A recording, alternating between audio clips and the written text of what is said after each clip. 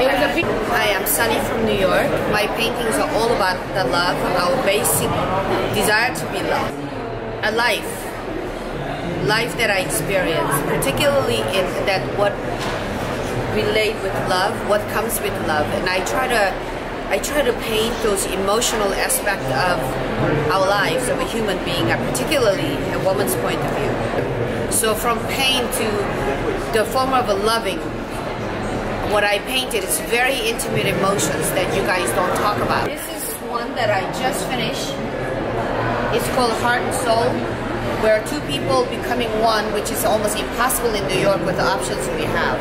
Become one for the moments the ecstasy of of a life. My actually my paintings have a lot of butterfly. It came from when I felt very suffered in a relationship and it was my metaphor to go into fantasies places and at times when I was in stress this bird will appear but the rest of the bird uh, butterfly carry me through different places they are beautiful they only fly out when sunny places. Um, they're just beautiful creatures, also like woman's life. That from single to the married, you become a metamorphosis. This particular painting is called Awakening. Like when I had a solo exhibition at the Midtown, it was a 55 painting of uh, my life going through change. That's why there's so much butterfly because I resonate with the butterfly as I be awakening. You all go through, do what we are taught, like your parents, but eventually there's a you gonna come out, where there is your painter, whatever that you liked before you got into relationship, that person will never disappear. And as you get older, that person's, if it not come out, if you're not in life partner that nurture you that side, that you're gonna be in the cage. Like some of my paintings, uh, there's I titled guilt cage. It's those wings that want to fly out, but there's a cage. And then I become free myself with my paintings.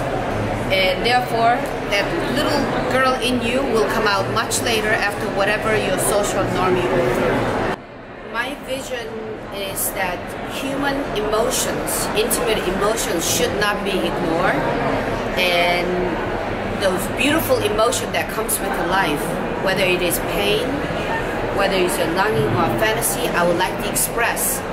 And when people come look at my work, it takes you to places that you've forgotten or you need feel it. That's what I offer you. My work is inspired by George O'Keeffe to Egon Schiele, to Dali, to Picasso, with the given that I'm a very trained artist that I have the ability and creative mind to execute it. And lately my work is taking more toward the Art Deco style and more stylizing.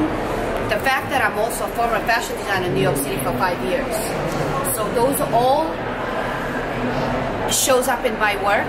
I love Art Deco, Art Nouveau, or O'Keeffe's sensualness.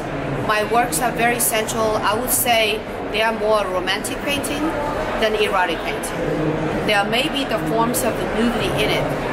I express my emotions through them. And some of these works are actually from live models, especially if they're done in a Conte Creme pastel. I express my emotions of the day and I project my feelings to them, particularly female models. And I foreshadow my souls.